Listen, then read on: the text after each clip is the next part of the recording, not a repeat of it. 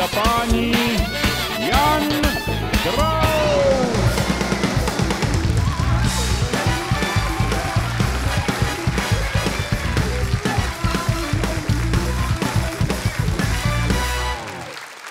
Dobrý večer, dámy a pánové, děkuji úctivě, dobrý večer. Večer. Teď jsem jenom v rychlosti prolít ty titulky zase čurbe s těma vakcínama, to jak na burze.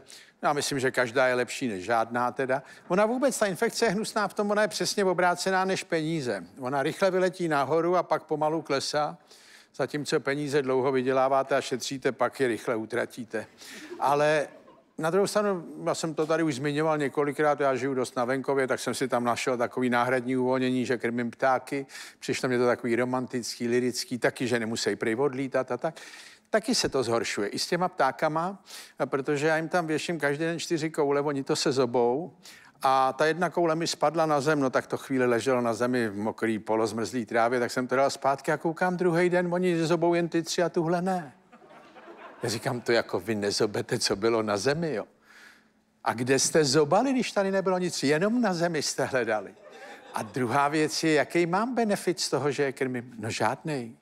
Že bych ráno přišel a seděli na nadrátě a zaspívali mě nějak prémiově. Ahoj Honzo, ne, já to tam věším, oni čekají na větvích okolo a až když odejdu, tak jdou a všechno sežerou. Já to platím, věším, vděk žádný. Připadám si jak doma chvílema.